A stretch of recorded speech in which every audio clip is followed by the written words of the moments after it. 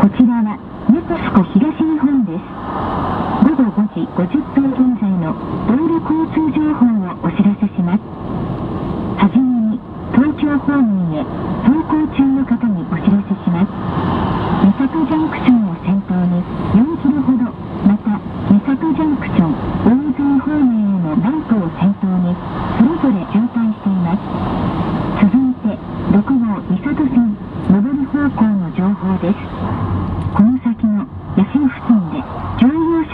よる事故が発生しています。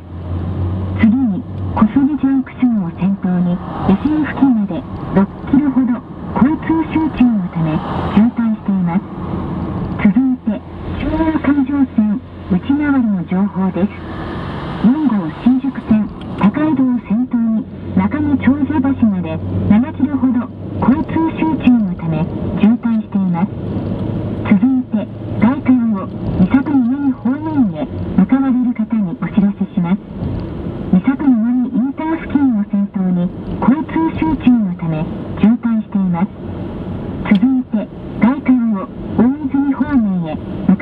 方にお知らせします。